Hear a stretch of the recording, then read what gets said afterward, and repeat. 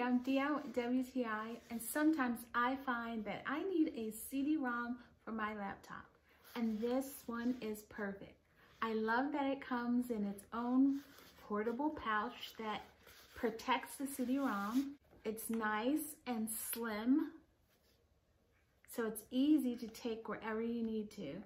And the cord sits in the bottom so you don't have this big cord bulking up the bag.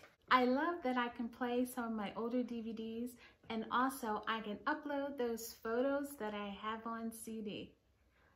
This CD-ROM is convenient and portable and that's my point of view.